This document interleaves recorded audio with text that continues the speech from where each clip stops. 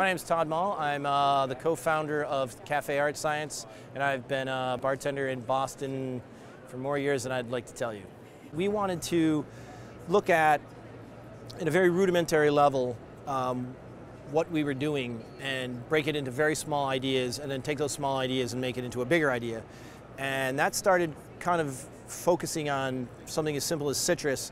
So basically what you're able to do with uh, centrifugal force is to take juice and make it a homogeneous solution. So you can actually take the sediment out of, out of solution. Your first question will be, why would you want to do that?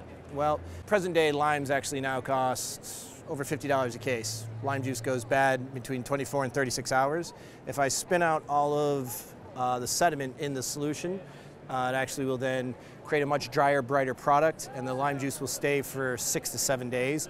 Initially, we were just throwing that sediment away. I was trying to reuse everything that we could possibly use, so I started looking at the sediment and said to myself, well, if I'm taking the acid note out of a solution, wouldn't it be really cool if I used that acid note as time release and then folded it back into solution? So I basically took that sediment, um, thickened it with uh, food starch, thinned it with alcohol, and made it into a paint and put it on the inside of the glass, and then it fall, falls back into solution over the course of the drink. The really genius part of uh, using a centrifuge is basically it's taking an idea and smashing it apart and putting it back together like a mosaic.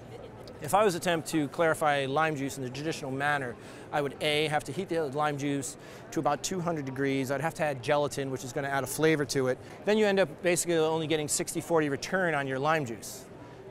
That sediment you saw that I showed you, that is the exact amount of sediment that comes out of lime juice. So the return on my product is 99.8. So let's see, which is a better business model? I get 99% return on my, on my original product. I'm selling something that nobody else has and I'm eliminating waste.